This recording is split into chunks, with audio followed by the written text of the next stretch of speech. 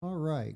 This is my new Webley and Scott number one flare gun replica kit. Um, it's what Boba Fett's uh, EE3 blaster is based off of. Uh, it's going to be what some of I have some new custom um, blasters, rifles, and stuff that I'm I'm I'm doing and creating. Uh, this will be the base for some of those. I'll also be doing the EE3 version, Boba Fett's EE3 version, off of this. But this this is the base flare gun kit that I wanted to sell because you can't get your hands on one of these flare guns, and I know there's a lot of people out there that want to build their own Boba Fett replica, and they would like the the the base flare gun and let them create all their own parts and greebles and stuff that go on it and the scope, which is great. That's the reason I want to sell the kit uh, for just a flare gun. So we're going to go ahead and get this assembled. It's a uh, very simple. Uh, it assembles uh, in the exact same way as the actual flare gun does. Um, I've in, I've added a couple extra screws here or there just for um, um, strength and whatnot. Uh, all of these parts, like every like all the other kits that I do, they're all printed in a specific direction and way to make them extremely, extremely strong. This scope bracket right here, if you end up, or this uh, stock bracket, if you end up breaking this stock bracket, uh, you you've done something pretty significant um, to the kit, and and basically the same with. Um, the the grip and the receiver part of the body here, it, uh, the way it's built and um, actually printed, it's it's pretty much almost hundred percent thick, solid. Uh, same with the barrel. We got the stock and all that. So what we're going to do here is, uh, I guess the the easiest thing to do is let's get all the little intricate stuff like the trigger and and uh, the barrel release. And this does also, you know, the breakover barrel part functions just like it's supposed to. Um, it, it's actually pretty awesome. So what, what we'll do here is we'll go ahead and um, the first thing we need to do is the hammer is actually two pieces. And that's because this the really cool sweeping hammer details um, there's not there was not really a way to make it all one piece with a hammer and make it print and look beautiful. Um, so what we're going to do is, let me get all this together here. All right. So we're going to just go in here and we're just going to add a little glue. And again, you can use regular uh, thick super glue. I use CA glue because I like uh, having the activator because sometimes I need it to set instantly. Uh, and sometimes I need it to give me a minute. So there's there. It's pretty, pretty much dry. Um, and there's not but, I think, one, the joint for the barrel and the back part of the stock. So there's only three places that get glued. The rest of it is all screwed together. So the first thing we're going to do is we're going to put the trigger in and it there's uh, two full length screw uh, springs and a half spring that's included in this.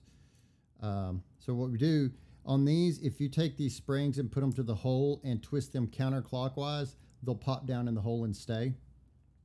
So we'll get your body here and you'll have two very specific cheese head flat blade screws the same length. Um, basically all the flat blades are cheese head to to fit the correct time period for for this replica. So what we want to do is just get the screw started where the trigger goes. And if you notice, there's a hole down here where this uh, spring sets. So we're just going to set it in there. And this is kind of one of these, you know, after you've done this a few times, you get used to having to hold the, the hammer and the or the trigger or the hammer parts and the springs all with tension on them and there I hit the hole the first time sometimes you have to like screw the screw in a little bit to where it touches and see if you're hitting the side and move it. Sometimes you can move it to the side and look from the side, but um, so there is our trigger. So let's get the hammer. So now down inside the body here, you're going to see there's a hole um, where this spring sits. If I don't just keep dropping it.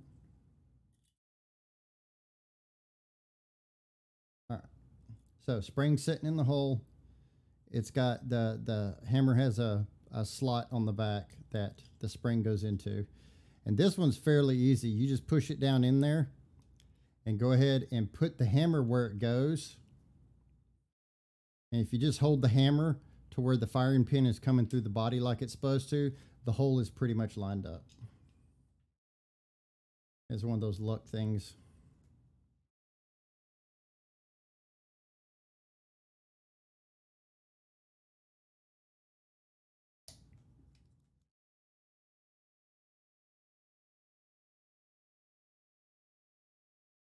barely touched the side of the body of the hammer, so I just backed it up a tad and barely moved it, and we're in. So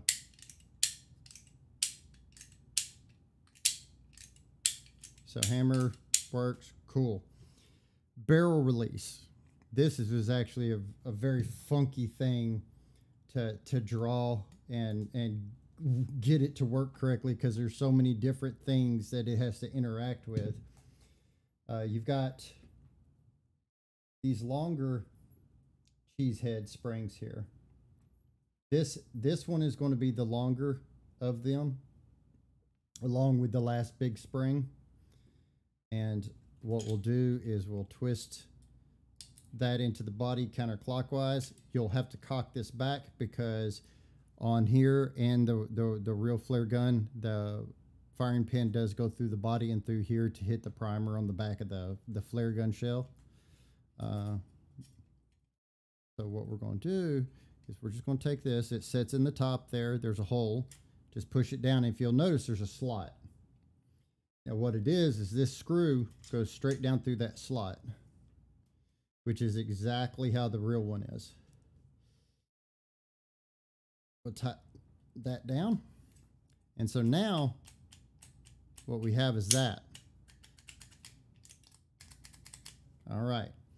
So then what we'll do is let, let's go ahead and glue together the barrel, which there's a notch that I've put notch, um, which I've also put the print seam line is down on the bottom edge. So that's a real quick, just clean up and you're good and gravy there. So let's get this uh, glued on here. And man, this thing, I mean, this body piece right here, this is about, eight hours because of how thick it is. And the whole dang thing solid as can be. This barrel, this barrel piece, I mean, if you had to like fight off a wild hog or a horde of zombie children or something, um, yeah, you could do it with this. Has to be zombie children though, not real children. All right. So basically, you're just going to take this and you're just going to set this on there there's this big, the biggest screw in there, the biggest, th thickest, fattest screw there is. And you're going to screw this directly in. Okay, now it's set. And you cannot, you cannot unlatch this, this barrel. It is so stinking stout. And see, it auto latches back just like the real one. So when you go to close it, I think you could even, yeah, so. There you go. Goody, goody. Oh, crap. Hang on. Actually, let me take this back off real quick because the trigger guard needs to go on. Got all excited talking about the barrel and stuff. Okay. So you've got you've got multiple um, Phillips head screws in here. Get out the glare of that. There's three um, of the same length. What you do is your trigger guard will go on.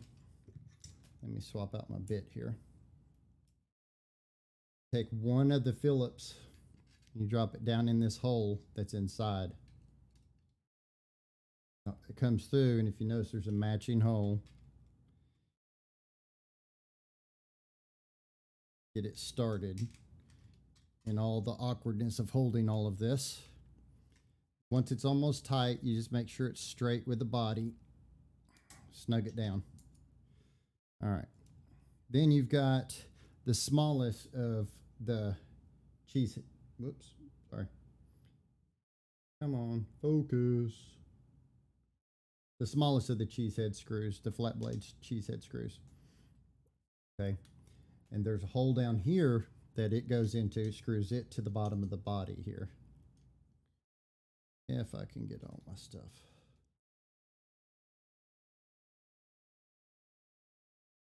I've been asked for this model for so many years now, and I wanted to do it, but I wanted to make sure I had time to sit down and do it right.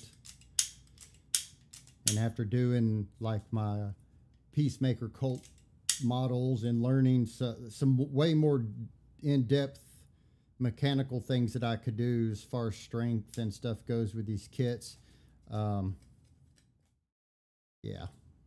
All right. Before well, before we put the barrel back on, we'll go ahead and just put the um, the the stock and the whole thing together. First of all, on here, on um, I'll probably get asked a hundred times why I didn't cut it back here or why I cut it at all. This stock has no flat spots on it to actually be able to attach it to anything to print. So there would have to be a seam in here no matter what. So I did the seam where I did because on the Boba Fett one, this is also where the, the stock greebles go. So it's still a very small seam line once you glue it together and press it together, no big deal. I mean, I could have done it way back here, but then you'd had been working on the back edge and, you know, you've got greebles here to help cover the majority of that. Um, so what we're going to do is we're just going to go in here all the way around the edge. Gob it, gob it, gob it. And on this, I don't really want to put the activator on it yet.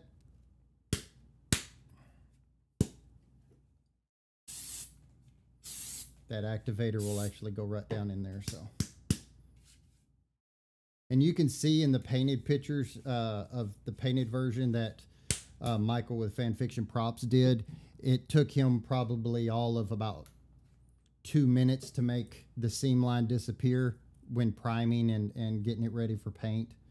Um, it's very like directly across. There's no high ridges or anything. You could you could sand the edges if you wanted to before putting it together.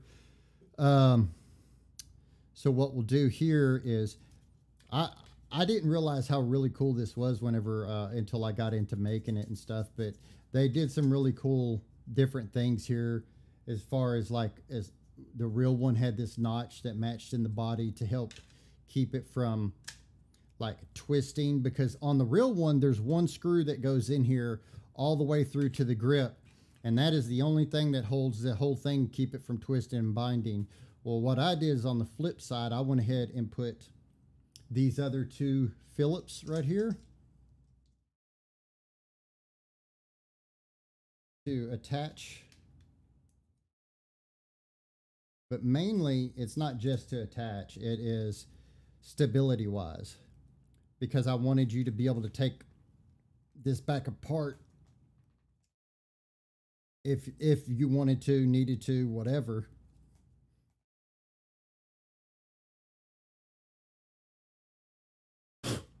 So then the grip simply goes on there and um, take one, the, the last three uh, cheesehead flat blades are the same length.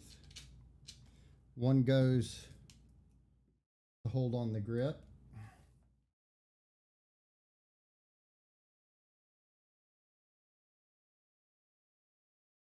Oh, flat blade screws. I'm so glad they're not a standard anymore.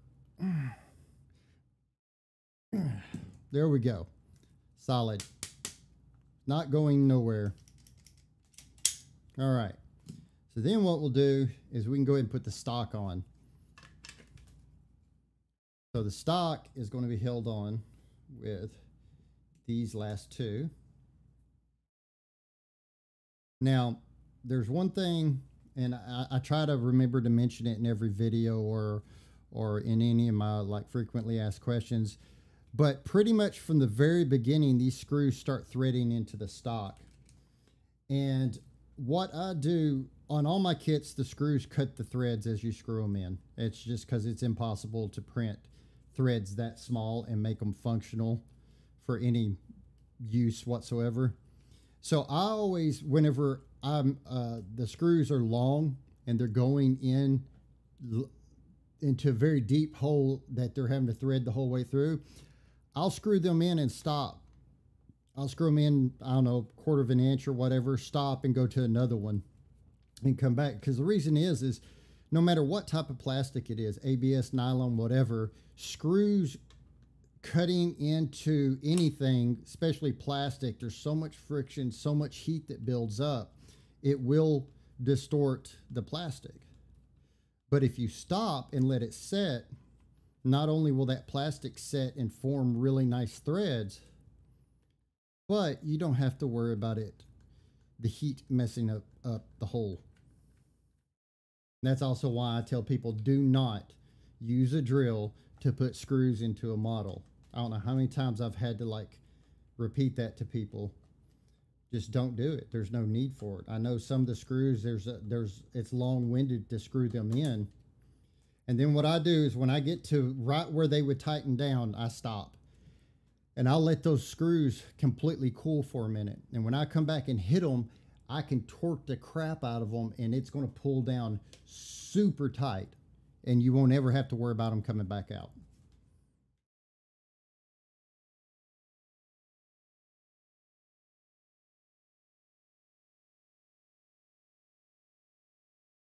Okay, so there you go full full stock length.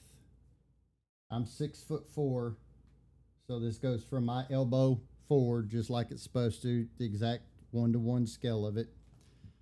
So then let's put this dude back on.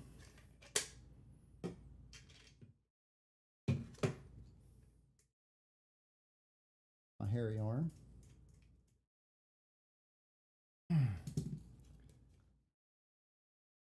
There it is. So that's the whole that's the whole whole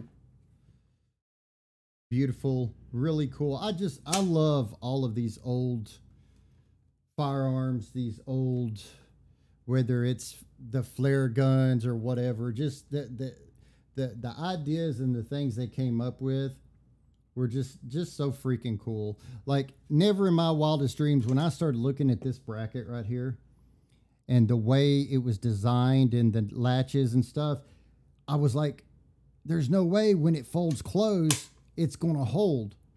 And I'm telling you right now, you will break this somewhere before you get that latch to come loose. Um, like I said, I'm going to be using this for a big rifle and my concern and thought was is I was I was it was going to resemble this, but I was going to remove the breakover part and actually not have it break over because I was scared by the time I put good length amount of barrel on it and stuff that this would suffer. It's not an issue. It's going to be there. so, but there it is. Spring loaded hammer, trigger, spring loaded barrel release The barrel is, is hollow all the way through. So there it is.